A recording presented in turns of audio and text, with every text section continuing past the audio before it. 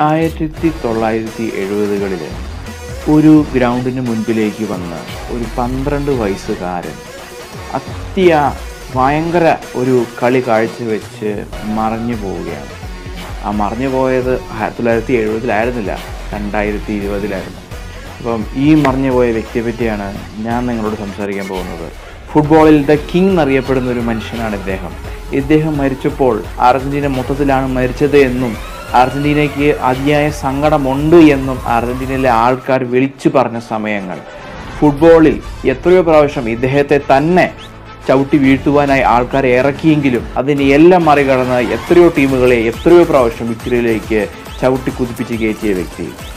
എന്ന് നമ്മൾ ആരാധിക്കുന്ന അല്ലെങ്കിൽ ആ ഒരു ഗോൾഡൻ ഫുട്ബോൾ ചുംബിച്ച് നിൽക്കുന്ന ഈ വ്യക്തിനെ പറ്റിയാണ് ഞാൻ സംസാരിക്കാൻ പോകുന്നത്. Diego Maradona. So on to the video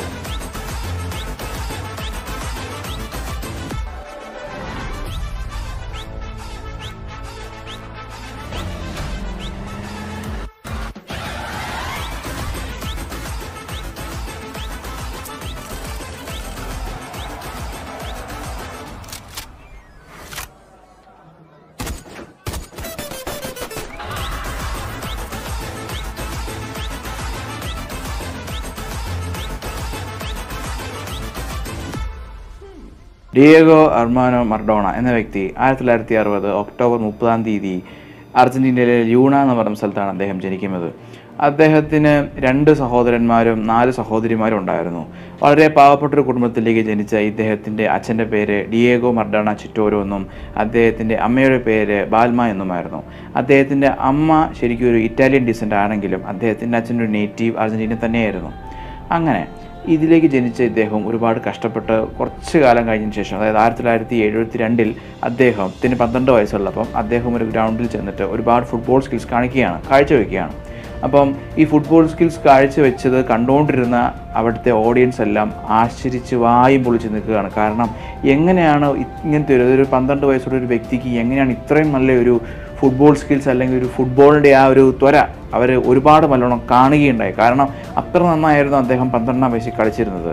പിന്നെ പിന്നീട് ആയിരത്തി തൊള്ളായിരത്തി എഴുപത്തി ആറിൽ തന്റെ പതിനാറാമത്തെ വയസ്സ് പൂർത്തിയാവാൻ പത്ത് ദിവസം മാത്രം ബാക്കിയിരിക്കെ അദ്ദേഹം തന്റെ ആദ്യത്തെ ടീമിലേക്ക് പ്രവേശിക്കുകയാണ്. അർജന്റിക്കോസ് ജൂനിയേഴ്സ് എന്ന ടീമിന്റെ പേര്.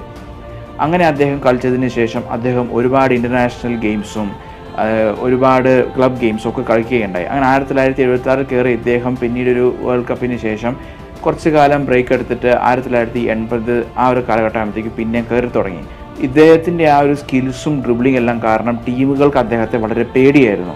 അതുകൊണ്ട് തന്നെ ഇദ്ദേഹം എപ്പോൾ ഒക്കെ ഗ്രൗണ്ടിൽ ഇറങ്ങുന്നു അപ്പോൾ ഒക്കെ അദ്ദേഹത്തെ കാലുകൊണ്ട് തൊഴിച്ച് നിലത്തിടാൻ അല്ലെങ്കിൽ ഇഞ്ചേർഡ് ആക്കാൻ ഒരാളെ എപ്പോഴും ഒരു ടീമിൽ ഏർപ്പാടാക്കുമായിരുന്നു. ഒരു കളിക്കാരനെന്നുപരി ഒരു മനുഷ്യൻ എന്ന പരിഗണന പോലും അദ്ദേഹത്തിന് ആ ടീമുകളുടെ കൂടെ ലഭിച്ചിരുന്നില്ല. അപ്പം അങ്ങനെ ലഭിക്കാത്ത ഇദ്ദേഹം ഇദ്ദേഹമാണെന്ന് എനിക്ക് തോന്നുന്നത് നമ്മുടെ ഇതുവരെ ചെയ്ത വീഡിയോ സീരീസിലെ ഏറ്റവും ഹ്യൂമിലേറ്റഡ് ആയിട്ടുള്ളൊരു ഫുട്ബോൾ താരം അല്ലെങ്കിൽ ഒരു മനുഷ്യൻ. അങ്ങനത്തെ ഒരു വ്യക്തി അതായത് ഇവരെ അതായത് ഇദ്ദേഹത്തെ അങ്ങനെ ഒരു ഏഹ്, ആക്കിയാൽ അല്ലെങ്കിൽ അങ്ങനെ ഒരു ഒരു ഒരു ഒരു ഇതിലേക്ക് അല്ലെങ്കിൽ ആ ഒരു സ്റ്റേജിലേക്ക് ആക്കിയാൽ മാത്രമേ അവർക്ക് രക്ഷപ്പെടാൻ പറ്റുള്ളൂ എന്ന് ചിന്തിച്ചിരുന്നൊരു കാലം. പിന്നെ ഇദ്ദേഹത്തിന് ഇത്ര നല്ലോണം കളിക്കാൻ പറ്റുന്നതിനിടയ്ക്ക് ഒരു സീക്രട്ട് കൂടി ഉണ്ടായിരുന്നു. ഇദ്ദേഹത്തിന് ശരിക്കും നൂറ്റി അറുപത്തി ഒൻപത് അല്ലെ നൂറ്റി ആ ഒരു റേഞ്ചിലായിരുന്നു അതായത് ഫൈവ് ഫീറ്റ് ഫൈവ് ആയിരുന്നു അദ്ദേഹത്തിന്റെ ഹൈറ്റ് ഫൈവ് ഫീറ്റ് ഫൈവ് ഉള്ളതുകൊണ്ട് തന്നെയും അദ്ദേഹത്തിന്റെ സെന്റർ ഓഫ് ഗ്രാവിറ്റി വളരെ ലോ ആയതുകൊണ്ട് തന്നെയും അദ്ദേഹത്തിന് വളരെ നന്നായിട്ട് ഡ്രിബിൾ ചെയ്യാൻ സാധിക്കുമായിരുന്നു. അദ്ദേഹത്തിന്റെ ഒരുപാട് അമേസിങ് ഗോൾസുകൾ നമ്മൾ കണ്ടിട്ടുണ്ട്. അദ്ദേഹത്തിന്റെ ചില ഗോളുകളിലൊക്കെ അറുപത് യാർഡ്സോളം അദ്ദേഹം സോളോ ആയിട്ട് എത്രയോ ഇംഗ്ലണ്ട് പ്ലെയേഴ്സിനെ മറികടന്നാണ് അടിച്ചിരിക്കുന്നത്. അങ്ങനെയുള്ളൊരു വ്യക്തിയായിരുന്നു ഇദ്ദേഹം. പിന്നെ ഇദ്ദേഹം തന്റെ ഫുട്ബോൾ ജീവിതത്തിന് ശേഷം ആയിരത്തി തൊള്ളായിരത്തി തൊണ്ണൂറ്റി ആറിൽ അല്ലെങ്കിൽ ആയിരത്തി തൊള്ളായിരത്തി തൊണ്ണൂറ്റി ഒമ്പതിൽ റിട്ടയർമെന്റ് കഴിഞ്ഞ് ജീവിതം ആസ്വദിക്കാൻ തീരുമാനിക്കുകയാണ്. അങ്ങനെ ജീവിതം ആസ്വദിച്ചിരുന്ന ഇദ്ദേഹത്തിന് പ്രോബ്ലങ്ങൾ അവിടെ വിട്ടിരുന്നില്ല. പ്രോബ്ലങ്ങൾ അദ്ദേഹത്തിനെ പിന്തുടർ പിന്തുടർന്നുകൊണ്ടേയിരുന്നു. അദ്ദേഹത്തിന് അദ്ദേഹം ചെറുതായിട്ട് ഒരു ഡ്രഗ് അബ്യൂസിലൊക്കെ അഡിക്റ്റ് ആവുകയും ഡ്രഗ് ഡ്രഗ് അബ്യൂസിനും ആൽക്കഹോൾ അബ്യൂസിനും ഒക്കെ ഇരയായി അദ്ദേഹം. അദ്ദേഹത്തിന്റെ ജീവിതം കുറച്ച് കുറച്ച് പ്രശ്നങ്ങൾ അല്ലെങ്കിൽ ഒരുപാട് പ്രശ്നങ്ങൾ നേരിട്ടൊരു സമയമായിരുന്നു. അദ്ദേഹം ഒരുപാട് ടീമുകളെ കോച്ച് ചെയ്തിരുന്നെങ്കിലും ആ സമയത്തൊക്കെ അദ്ദേഹത്തിന് ഒബിസിറ്റി വളരെ പിടിപ്പെട്ടിരുന്നു ഒരു സമയത്ത് അദ്ദേഹം നൂറ്റി മുപ്പത് കിലോ വരെ ഗെയിൻ ചെയ്യുകയുണ്ടായി. അങ്ങനെ ഗെയിൻ ചെയ്ത് ഇദ്ദേഹം പിന്നെ ഡോക്ടറിന്റെ അഡ്വൈസ് പ്രകാരം ഭക്ഷണമെല്ലാം കുറച്ച് ലിക്വിഡ് ഡയറ്റ് ഉപയോഗിച്ച് അദ്ദേഹം പിന്നെയും മെലിയുകയാണ്.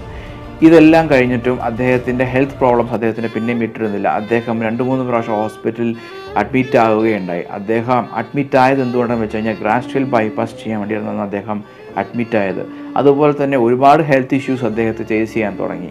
എന്നാൽ ഇതിന്റെ ഇടയ്ക്കൊക്കെയും ഒരുപാട് ടീമിനെ കോച്ച് ചെയ്തും ഒരുപാട് കളിക്കാരെ സഹായിക്കാനും ഒരുപാട് ഇവന്റുകളിൽ പങ്കെടുക്കുവാനും ഒരുപാട് പേർക്ക് പിന്തുണ നൽകുവാനും അദ്ദേഹം മടിച്ചേയിരുന്നില്ല അദ്ദേഹത്തിന്റെ പ്രശ്നങ്ങളെല്ലാം അദ്ദേഹം അദ്ദേഹത്തിന്റെ അകത്തേക്ക് തന്നെ ഇടുകയാണ്. അദ്ദേഹം അതൊന്നും പുറത്തേക്ക് കാണിച്ചിരുന്നില്ല. അങ്ങനെ ഈ അടുത്ത് അതായത് നവംബർ രണ്ടാം തീയതി അദ്ദേഹത്തിന് ഹോസ്പിറ്റലിൽ അഡ്മിറ്റ് ആക്കുകയാണ്. അദ്ദേഹത്തിന് ബ്രെയിനിന്റെ അകത്ത് ബ്ലഡ് ക്ലോട്ട് ആവുന്ന ഒരു പ്രശ്നം ഉണ്ടായിരുന്നു. അങ്ങനെ ആ ഒരു പ്രശ്നത്തിന് പ്രശ്നത്തിന് പരിഹാരം കണ്ടെത്താൻ വേണ്ടിയിട്ട്. അങ്ങനെ അഡ്മിറ്റ് ചെയ്തെങ്കിലും അദ്ദേഹത്തിന്റെ ആ പ്രശ്നങ്ങളെല്ലാം പോയെങ്കിലും അദ്ദേഹം കുറച്ച് കഴിഞ്ഞിട്ട് നവംബർ ട്വന്റി ഫിഫ്ത്ത് ട്വന്റി ട്വന്റിയിൽ ഹാർട്ട് അറ്റാക്ക് വന്ന് മരിക്കുകയാണ്. അങ്ങനെ ഒരു തലമുറയുടെ തന്നെ ഏറ്റവും ഭയങ്കരനായ ദ ഗോൾഡൻ കിഡ് എന്ന വ്യക്തി അന്തരിക്കുകയാണ്. നിങ്ങൾ അന്ന് അതായത് നവംബർ ഇരുപത്തി അഞ്ചിന് വേൾഡ് ന്യൂസ് എന്തെങ്കിലും വെച്ച് നോക്കുകയായിരുന്നെങ്കിൽ ഒരുപാട് അർജന്റീന ഫാൻസുകൾ കരയുന്നത് നിങ്ങൾക്ക് കാണാമായിരുന്നു അർജന്റീന ഫാൻസുകൾ മാത്രമല്ല അർജന്റീന എന്ന് പറഞ്ഞ കൺട്രി മൊത്തം അദ്ദേഹത്തിന്റെ ആ ഒരു ലോസിൽ വളരെയധികം വിഷമം അനുഭവിച്ചിരുന്നു. അദ്ദേഹം അവർ പറഞ്ഞിരുന്നത് we did not lose citizen we lost Argentina Argentina മരിച്ചിരിക്കുന്നു എന്ന് തന്നെയാണ് അദ്ദേഹം അവർ പറഞ്ഞത്. കാരണം അത്രത്തോളം ഇമ്പോർട്ടൻസ് അദ്ദേഹവും അർജന്റീനയുമായിട്ടുണ്ടായിരുന്നു പിന്നീട് അദ്ദേഹത്തിന്റെ ഒറിജിനൽ ജേഴ്സി അദ്ദേഹം പോപ്പിന് ഗിഫ്റ്റ് കൊടുക്കുകയുണ്ടായി. അങ്ങനത്തെ ഒരുപാട് നല്ല കാര്യങ്ങൾ ചെയ്ത് ഇദ്ദേഹത്തിന് കേരളവുമായിട്ടും ഒരു ഒരു സ്വർണ ബന്ധം അല്ലെങ്കിൽ ഒരു നല്ല ബന്ധം ഉണ്ടെന്ന് പറയുന്നതിൽ എനിക്ക് അഭിമാനമുണ്ട്. കാരണം അദ്ദേഹം ബോബി ചെമ്മണ്ണൂർ ഇന്റർനാഷണൽ ജ്വല്ലേഴ്സിന്റെ കൂടെ ചേർന്ന് ഒരു ഒരു അംബാസിഡർ പോലെ ആവുകയും പിന്നീട് ഇവിടെ വന്നിട്ട് അദ്ദേഹത്തിനോട് പാടാൻ അവസരം കിട്ടിയ ഒരുപാട് ഗായകന്മാരും ഉണ്ട് അപ്പം ഇത്രയും നല്ലൊരു വ്യക്തി നമ്മളിൽ നിന്ന് പിരിഞ്ഞു പോകുമ്പോൾ നമുക്ക് ചെയ്യാം ഒരു കാര്യം എന്ന് വെച്ചാൽ അദ്ദേഹത്തിന്റെ ആത്മശാന്തിക്കായി നമുക്ക് പ്രാർത്ഥിക്കാം. So this is Jibin Mathew signing off from Insiders channel do subscribe enable the bell icon and see you the next video bye